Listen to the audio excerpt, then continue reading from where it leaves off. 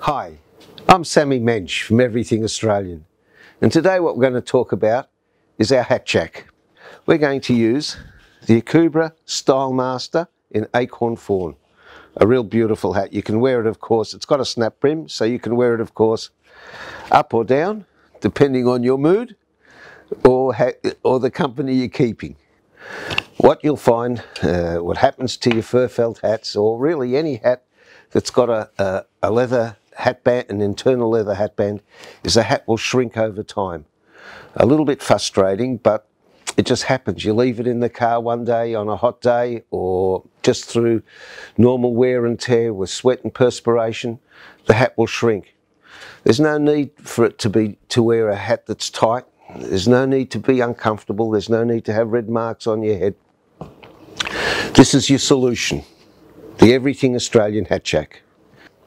So the best way of doing it really is sitting down and resting the hat between your legs so that you've got purchase on the hat.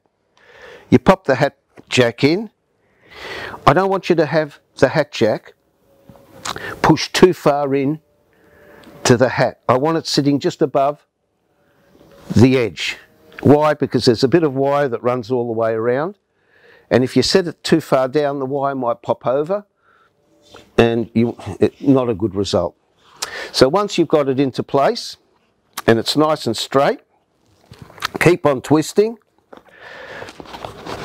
So once you've, there we go. So once you've done it, it's changed the shape a little bit, but once you've got it extended like that, I just want you to leave it.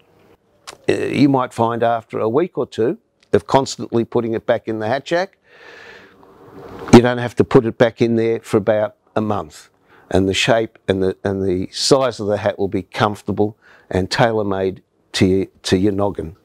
All right, I, I hope that's been of help. Um, enjoy your day, enjoy your hat. Thank you very much. Thanks for watching. Please subscribe for more videos. You can find us on Instagram and Facebook. And for more information on any product, please visit the website. Cheers.